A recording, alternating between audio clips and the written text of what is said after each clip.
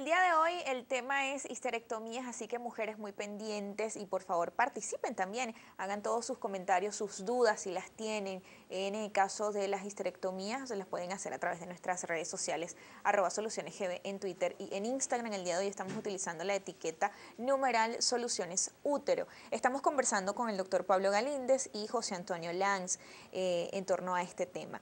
Eh, nos quedaba, mm, digamos, algo por allí al aire que no habíamos tocado en el tema de las causas era sobre la endometriosis, que entiendo que también es eh, forma eh, o es una de las causas en las que es indicado realizar una esterectomía, ¿no es así? Sí, eh, empezando por definir qué es la endometriosis. es la implantación fuera del útero del endometrio. El endometrio, como les comentaba en el segmento anterior, él se prepara todos los meses, él va creciendo, para prepararse para el embarazo. Si no existe el embarazo, descama y es el sangramiento que ve la mujer. Cuando ese tejido endometrial está fuera de la cavidad uterina, igualmente sangra y produce los síntomas dependiendo del lugar donde esté. Esos focos mm, ectópicos, focos fuera del sitio donde normalmente está ese endometrio, puede estar en la pared abdominal, por ejemplo, eh, y la mujer eh, cuando está menstruando aumenta de volumen la, pared abdominal eh, en el sitio donde está ese endometrio, eso por supuesto causa muchísimo dolor. Este, y tiene esa, e, e, el, dolor es cíclico, el aumento de volumen en el sitio donde está el, endometrio es, cíclico. Ese endometrio también puede implantarse en el piso de la pelvis, puede este, causar como sangra y tiene una facultad que es que ese sangramiento donde él cae también se siembra y se multiplican los focos endometriósicos, causan muchísimo dolor, causan dolor durante las relaciones sexuales, causan adherencias de los diferentes órganos, se pegan unos con otros, entonces tienen efectos también sobre la fertilidad en la mujer. Entonces son mujeres que tienen mucho dolor, que tienen, este, son muchas veces este, lo que las lleva al médico es una incapacidad para mantener una relación sexual, por ejemplo, y eh, acuden, dependiendo de la magnitud de esa siembra, de esos focos endometriósicos, con mucho dolor. esa cavidad eh, o esas células de la cavidad endometrial se pueden sembrar prácticamente en cualquier parte del cuerpo. Hay datos curiosos de mujeres que lloran sangre y tienen una endometriosis ocular. Sin embargo, esos son casos muy raros.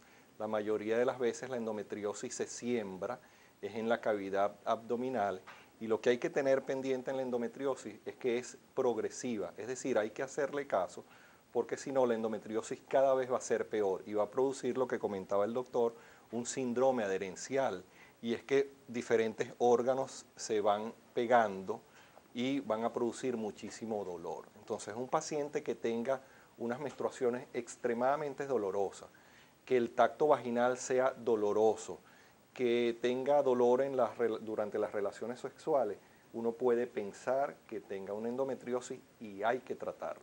¿Y qué tipo de esterectomía se, es recomendable en un caso de endometriosis? Lo ideal es una histerectomía abdominal porque precisamente la endometriosis eh, produce un síndrome adherencial y si tratamos de sacar este útero por vía vaginal, posiblemente vamos a tener un síndrome adherencial tan severo que no lo podamos saber, dependiendo en el, en el estadio en el cual tengamos esa endometriosis. Pero por término general, la endometriosis es una paciente eh, que debe ser tratada por vía abdominal. Ojo, no todo paciente va a terminar en una histerectomía.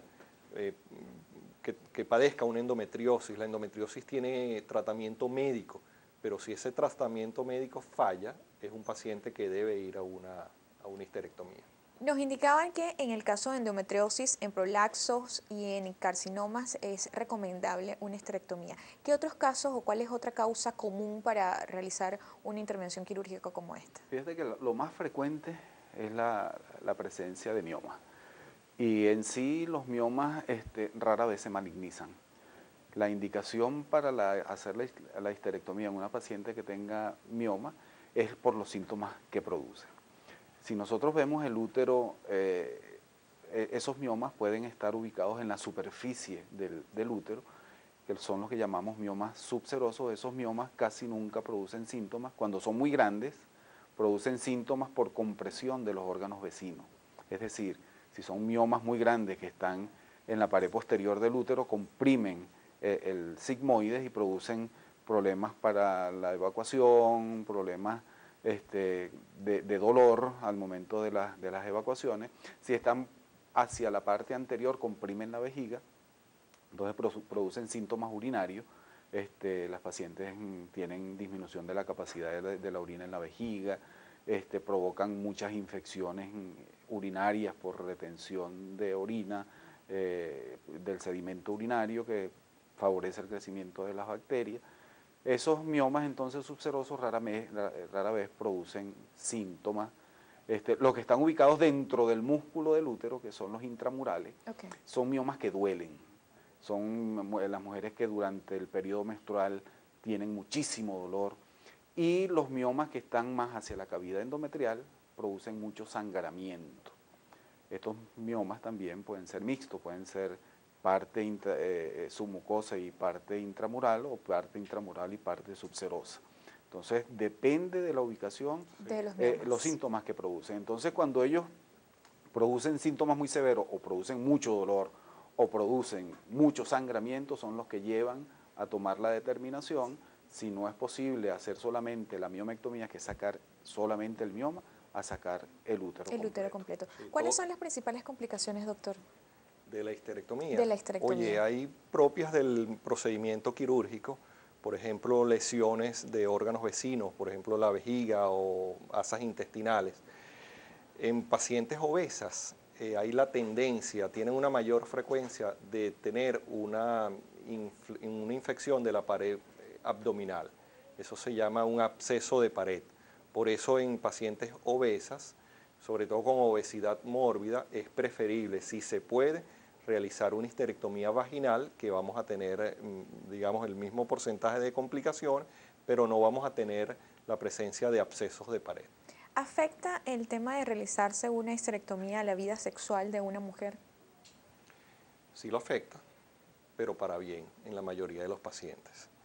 Eh, es decir, si tú tienes una paciente que está constantemente sangrando y le quitas ese sangrado, ese va a tener una afectación positiva de su vida reproductiva.